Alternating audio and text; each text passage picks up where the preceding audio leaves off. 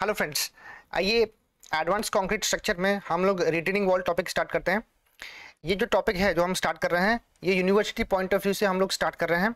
तो जो भी students R T M U फिर और, और कोई भी यूनिवर्सिटी में स्टडी कर रहे हैं तो आपको ये बी के एग्ज़ाम के लिए बहुत ही इंपॉर्टेंट है। ये रिटेनिंग वॉल हम लोग आर टी एम के लिए सेवन सेमेस्टर के लिए स्टडी कर रहे हैं। तो आइए स्टार्ट करते हैं। सबसे पहले अगर हम रिटेनिंग वॉल की बात करें तो रिटेनिंग वॉल एक ऐसी वॉल है जो सॉइल को रिटेन करता है। It will retain the soil. So, retaining wall is used to retain the soil. ये सॉइल को रिटेन करने में काम आता है, यानी कि सॉइल को प्रोटेक्ट करने में काम आता है। अब दो तरह की रिटेनिंग वॉल होती है। एक होती है कैंटिलीवर रिटेनिंग वॉल और एक होती है counterfort retaining wall the very first is cantilever and another is counterfort retaining wall अब जो कैंटिलीवर रिटेनिंग वॉल होती है ना हम जनरली यूज़ करते हैं फाइव टू सिक्स मीटर के हाइट के लिए। तो आपके सामने एक फिगर दिया हुआ है कैंटिलीवर रिटेनिंग वॉल का, जिसमें आप देख सकते हैं कि इसके जो कंपोनेंट्स है, जो कि मैं डेप्थ में आगे में डिस्कस करूँगा, जैसे पहला कंपोनेंट है स्टेम स्टेम मतलब ये जो वॉल है ना, इसको हम स्टेम बोलते हैं। नेक्स्ट वॉल के जो बॉटम में आपको दिया हुआ है, एक बेस स्लैब दी हुई है। वो बेस स्लैब को दो हिस्से में डिवाइड किया हुआ है। एक है टो जो आप लेफ़्ट साइड में देख सकते हैं, और एक है हील जो आप राइट साइड में देख सकते हैं। इसके बारे में मैं डिटेल में आगे डिस्कस करता हूँ कि क्या चीज़ होता है। तो कैंटिलीवर नाम कैसे पड़ा इसका? क्योंकि इसका जो टॉप एंड है, जो कैंटिलीवर का, जो स्टेम का टॉप एंड है, ये टॉप एंड है, ये एकदम फ्री है। मतलब एक कैंटिलीवर की तरह बिहेव करता है, इसीलिए उसका नाम पड़ गया कैंटिलीवर रिटर्निंग वॉल। ठीक है? So cantilever returning wall is a wall which behaves like a cantilever and it has stem stem मतलब वॉल।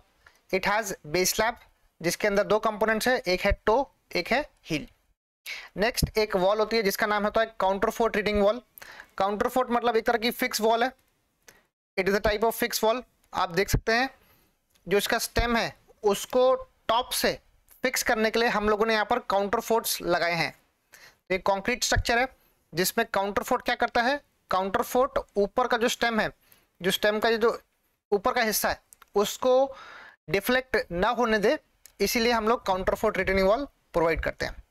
तो दो तरह के वॉल है कैंटिलीवर काउंटर फोर्ट कैंटिलीवर में इसका जो टॉप एंड है, वो फ्रीली रिफ्लेक्ट कर सकता है। काउंटर फोर्ट में जो इसका टॉप एंड है, वो फ्रीली रिफ्लेक्ट नहीं कर सकता। ठीक है?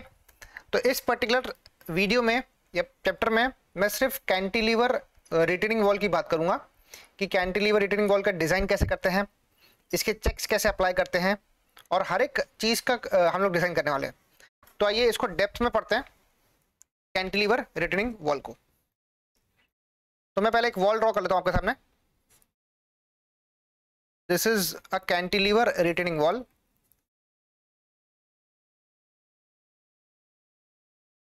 तो जैसे मैंने आपको बताया था कि रिटर्निंग वॉल क्या करता है? रिटर्निंग वॉल अर्थ को रिटेन करता है। मतलब सॉइल को एक साइड में रखने के लिए एज अ बैकफिल हम लोग रिटर्निंग वॉल कंस्ट्रक्ट करते हैं। तो यहाँ पे आपकी बैकफिल है। बैकफिल बैकफिल मतलब सॉइल है। मतलब यहाँ पे सॉइल को रखने के लिए हमने ये वॉल का डिज़ाइन किया है। तो ये जो कंपोनेंट है, इसको हम बोलते हैं stem we call this as stem ये है पूरी की पूरी बेस स्लैब ये जो बॉटम वाली है ना, ये आपकी बेस स्लैब है। अब बेस स्लैब का जो लेफ़्ट वाला हिस्सा है मतलब ये वाला हिस्सा। ये इतना हिस्सा, इसको हम बोलते हैं toe we call it as toe and ये जो हिस्सा है, यहाँ से लेकर यहाँ तक के, इसको बोलते हैं heel. So cantilever retaining wall का जो बेस स्लैब है, उसके दो कंपोनेंट्स एक है टो, एक है हील। नेक्स्ट अब अगर हम बात करें तो दिस वॉज़ टो। ये मान लो इसका ग्राउंड लेवल है। This is the ground level तो ग्राउंड लेवल से जितना आप नीचे एक्सकेवेट करते हो ना तो उसको बोलते हैं depth of the foundation ground level से जितना आप नीचे जाते हो ना, जहाँ पे आपका बेस स्लैब रखते हो आप तो उसको बोलते हैं डेप्थ ऑफ़ द फाउंडेशन फिर हम लोग स्टेम की बात करें तो H stand for height of the stem H का मतलब होता है हाइट ऑफ़ द स्टेम और बेस स्लैब की थिकनेस कितनी होती है? वो होती है small T that is small T तो ये एक रफ फिगर है आपके सामने कैंटिलीवर रिटर्निंग वॉल का अब इसका स्ट्रक्चरल बिहेवियर कैसा होता है? हम लोग वो बात करते हैं। तो आइए देखते हैं इसका स्ट्रक्चरल बिहेवियर कैसा है, ये बेंड कैसा होता है? हम लोग समझते हैं पहले। नाउ सी ये जो बैकफिल है, ये बैकफिल का वेट वर्टिकली डाउनवर्ड एक्ट करता है। The weight of the soil will act vertically downward but ये सॉइल क्या करती है ना? ये सॉइल एक हॉरिजॉन्टल प्रेशर देती है इस वॉल को। तो ये सॉइल हम क्या करेंगे? This soil will give some horizontal pressure P इस प्रेशर का नाम होता है एक्टिव अर्थ प्रेशर इसको हम बोलते हैं एक्टिव अर्थ प्रेशर इस प्रेशर की वजह से आपकी जो रिटर्निंग वॉल है ना, वो कुछ इस तरीके से बेंड होती है। ये आपका स्टेम है। Due to this horizontal pressure the wall of the the stem of the wall will bend in this fashion वो लेफ़्ट की ओर बेंड होता है। तो बेटा ये आपका स्टेम है, जो लेफ़्ट की ओर बेंड हुआ। अब मुझे आप बताइए, आपका जो हील है हील के जस्ट ऊपर सॉइल है। यहाँ पे सॉइल है। तो सॉइल का वेट तो वर्टिकली डाउनवर्ड एक्ट कर रहा।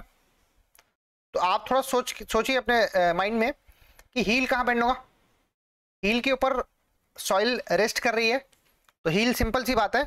It will bend in this fashion heel नीचे की ओर बेंड होता है। ऑल राइट जब हील नीचे बेंड हो रहा है तो आपका टो कहाँ बेंड होगा? Toe will bend vertically upward वो ऐसा बेंड होगा। तो आप देख सकते हैं कि ये इसका बेंडिंग पैटर्न है। टो और हील का ये बेंडिंग पैटर्न है। दिस इज़ हील पार्ट ऐसा। जो स्टेम है, वो लेफ़्ट की ओर बेंड होगा, क्योंकि एक्टिव और प्रेशर लेफ़्ट की ओर जा रहा है। जो हील है, उसके ऊपर सॉइल बैठी है तो सॉइल क्या करेंगी? उसको नीचे की ओर बेंड करेंगी। तो heel will bend in down direction but toe will bend in upward direction ठीक है? ये सिंपल सा इसका एक बेंडिंग फिनोमिना है। This is the bending phenomena right अब ये फिगर आप प्रॉपरली ड्रॉ करेंगे। ठीक है? आप देखो एक बात बताइए आप लोग। अगर मैं बोलता हूँ सैगिंग सैगिंग जब मैंने वर्ड बोल दिया सैगिंग तो आपको सैगिंग अपने माइंड में क्या विजुलाइज करना है? एक ऐसी बेंड लेयर एक ऐसी बेंड लेयर को आपको माइंड में विजुलाइज करना है।